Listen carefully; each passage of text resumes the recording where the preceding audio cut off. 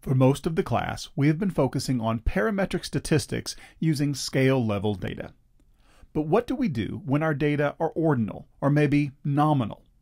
We do have options, and they're called non-parametric statistics. So for week 15, we're going to focus on non-parametric statistics and specifically the chi-square statistic. Why do we need these non-parametrics? We already know how to compare scale level data. We use things like ANOVA, t-tests, and regressions to better understand our variables at the scale level. But what if we had nominal data?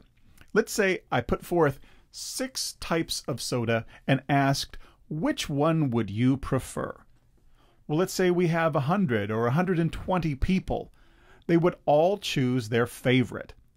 And at the end of that, what we would have are counts how many people preferred the first type, how many people preferred the second type. But we wouldn't have scale data.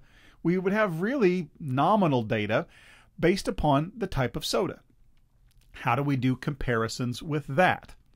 Well, we have options with non-parametric statistics that do not require us to have parametric assumptions. Most statistics estimate parameters from the sample you remember we would do a sample and then use the value of the standard deviation from the sample to estimate the value of the standard deviation in the population, which we didn't know. Well, now we're going to use a different type of test.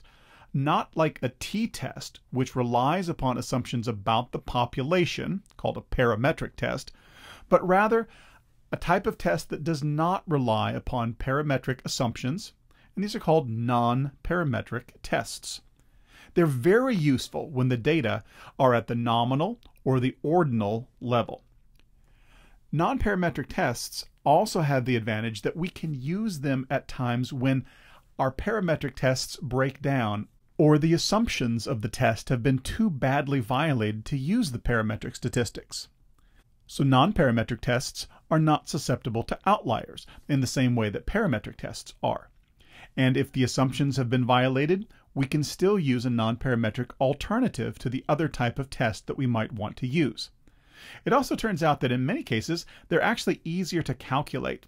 Chi-square is something you can do by hand mm, almost as easily as you can do in SPSS. But the trade-off is that when we use non-parametric tests, they are not as powerful as parametric tests. It's harder to find effects that exist so there's a greater chance for type 2 errors using non-parametric statistics.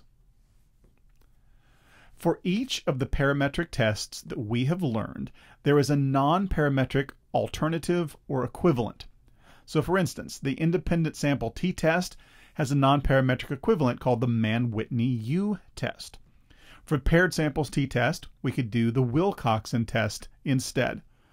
One way ANOVA is matched by the Kruskal-Wallis, and a repeated measures ANOVA is matched by a Friedman's test. So no matter the parametric test that we've learned about, there's another way of doing that test using a non-parametric approach. The one that we're going to focus on, however, is the chi-square test. And the chi-square compares what we find in a sample to what we would expect to find under certain assumptions. The first assumption that we're going to use is that everything is occurring randomly. In other words, everything should pretty well shake out equally. And does what we find in our data match what we would expect to find if that assumption that everything is occurring randomly was true? Now, to find out more about the non-parametric alternatives, go to the Bear handout and you'll see how each of the parametric tests we've learned has an alternative. Although we're not going to learn how to run each one of them right now, I want you to know that those alternatives are available.